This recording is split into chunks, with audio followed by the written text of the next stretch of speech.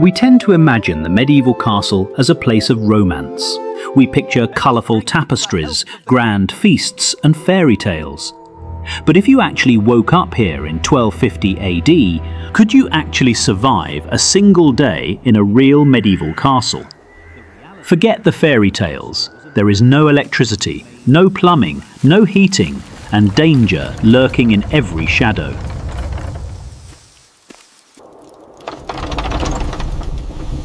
Before the sun even rises, the temperature inside is barely above freezing. There is no glass in the windows, just crude wooden shutters rattling against the biting English wind. And then the smell hits you. The air isn't fresh, it is thick with the scent of wet wool, animal waste and stale smoke that has been trapped in the stone for decades. This isn't a palace, it is a machine made of stone waking up for survival.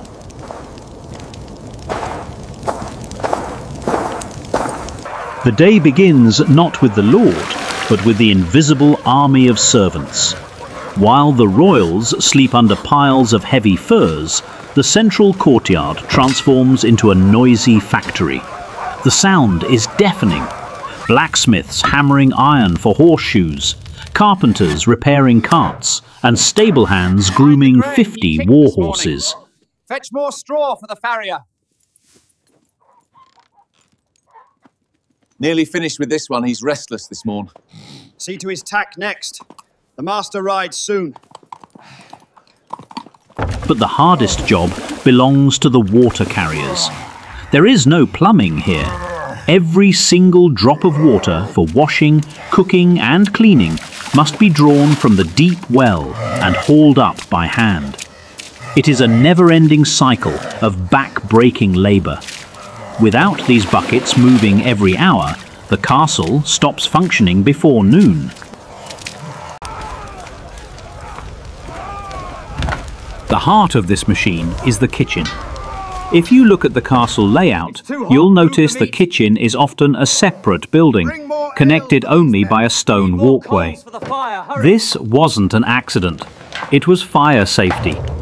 If the kitchen goes up in flames, the rest of the fortress survives.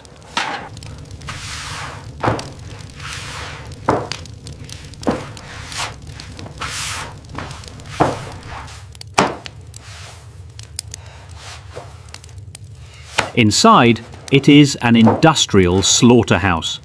The fireplaces are colossal, wide enough to roast an entire ox on a spit. The heat here is unbearable, a stark contrast to the freezing stone everywhere else. The cooks aren't making gourmet meals, they are fueling an army. They are churning out salted meats, heavy pottage, and hundreds of loaves of coarse bread to feed 500 hungry mouths before the sun hits its peak. A fine feast. Let us drink to the king. By midday, life centres on the Great Hall. But look closely at the design. Everything you see is part of a constant, losing battle against the cold. Those beautiful tapestries on the walls, they aren't just art, they are insulation, trapping a layer of air against the freezing granite to stop the room from turning into an icebox. The floor is covered in rushes, dried grasses and herbs. They keep your feet off the ice-cold stone, but they also hide the dirt, bones and scraps dropped by dogs. And the light, or the lack of it. With only narrow slit windows, the hall is perpetually dim. It smells of beeswax, burning tallow fat, and the stinging smoke from the central hearth that hovers just above your head. Darkness was always just one candle flicker away. But there is one aspect of castle life even the movers ignore the smell. Sanitation was a marvel of gravity and gross engineering.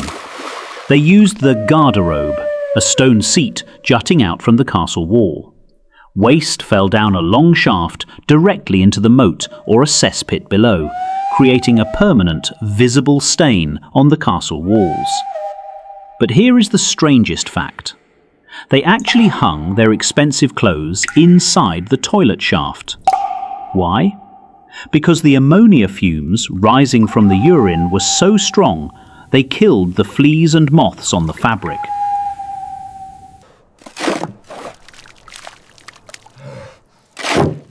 Hygiene was a luxury. A hot bath required hauling 40 buckets of water and heating them over a fire. Most people simply didn't bother. As you walk the corridors, you realize the castle feels hostile. That is by design. Every stone is placed to kill an intruder.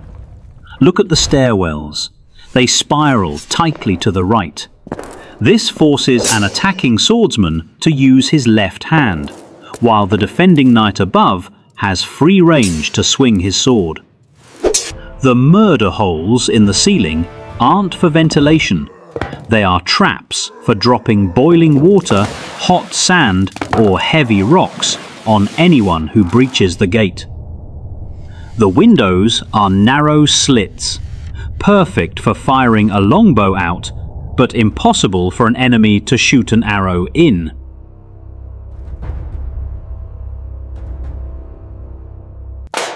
The afternoon is dedicated to one thing, paranoia. A castle exists for one reason, to survive a siege. Every day is a preparation for the unforeseen. In the armory, Fletchers are working frantically, making thousands of arrows to keep the stockpiles full.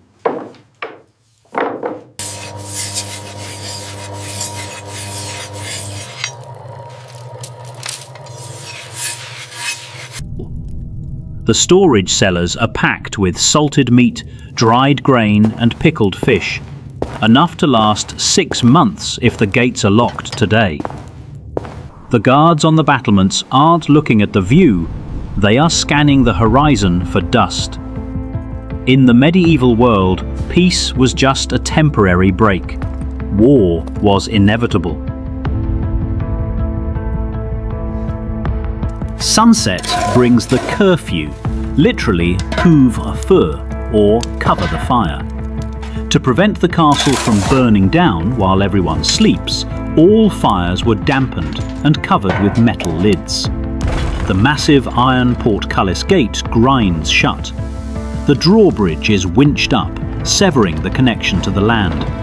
The castle becomes an island of stone in the dark. Inside, the great hall falls silent. Shadows stretch across the floor as the last candles burn out. Safe behind 10 feet of granite, the castle sleeps. Ready to wake up and do it all again, if they survive the night.